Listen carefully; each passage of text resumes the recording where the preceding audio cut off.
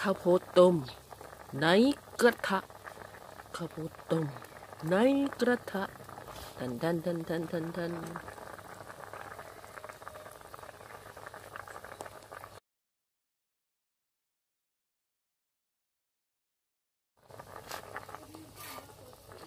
ภาพที่เห็นตรงหน้านะคะ เมนูของทานเล่นวันนี้นะคะ มันคือข้าวโพดนะคะ ข้าวโพดข้าวเหนียวนะคะ วันนี้ญาติของพี่ที่บ้านนะคะ เขามาจากกระบินบุรีนะคะเขาก็ซื้อมาฝาก เราก็เลยจัดการเอามาต้มนะคะต้มในกระทะนี่แหละค่ะ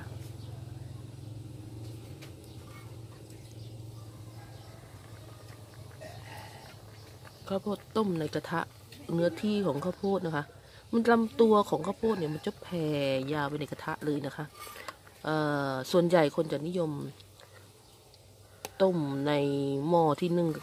ข้าวเหนียวใช่ไหมคะ อันนี้เรามาต้มในกระทะเลยนะ อันนี้เติมน้ำเยอะไปหน่อย เพื่อให้เขาได้น้ำร้อนๆเนี่ยเข้าไปทำให้เนื้อมันสุกนะคะ ทีนี้ถ้าจะให้สุกจริงๆ เราต้องสตีมนะฮะใช้วิธีการปิดฝาค่ะเขาเรียกว่าเป็นการนึ่งเนาะทีทีนี้ดูนะ ใส่น้ำเยอะมันจะล้นนะคะ มันก็อันตรายนิดนึงมันจะกระเด็นออกมา ต้องระวังนะคะ เห็นไหมพอเราปิดเนี่ยน้ำมันจะเดือดเร็วมากนะคะ มันก็จะใช้เวลาสั้นลงนะ นี่เป็นเทคนิคในการที่เราเพิ่มอุณหภูมิน้ำแต่ว่าดูสิ น้ำมันจะดันออกมานะ ความร้อนของน้ำนะคะ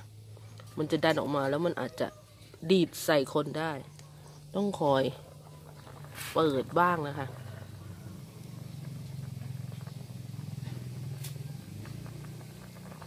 ให้มันระเหย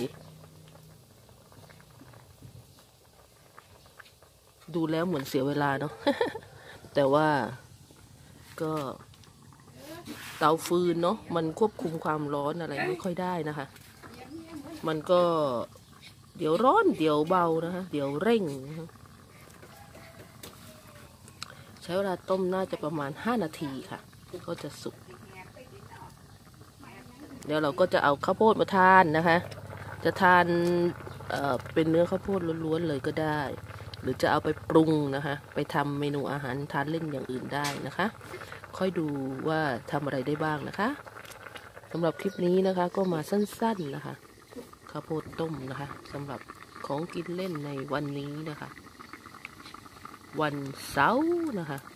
วันหยุดสุดสัปดาห์นะท่านผู้ชม